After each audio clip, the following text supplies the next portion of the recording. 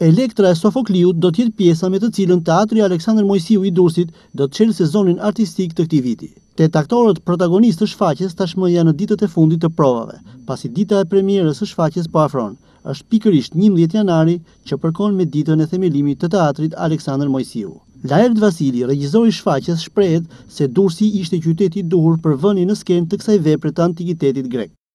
Dhe pikë së pari zgjodha qytetin e Durrësit që të vendos Elektrën e Sofokliut, sepse siç të gjithë dimë nga historia, është një nga qytetet më të vjetra të rajonit. Është një qytet me një histori tre mijë e katërqind vjeçare dhe.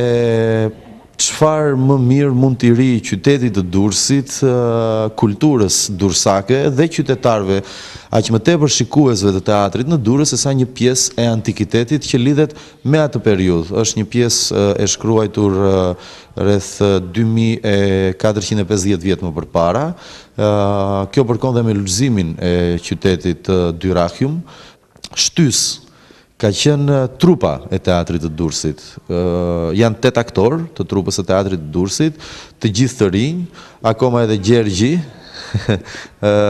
ndihet më i ri se ne dhe kjo mua më krijoi jashtëzakonisht kushte dhe më frymëzoi, le ta themi, kushte të volitshme dhe më frymëzoi për të kërkuar në një formë tjetër për të vënë në skenë Elektrën dhe për të bërë atë që thuhet një teatër laboratorium, pra një teatër eksperimental, por në thelb të kërkimit.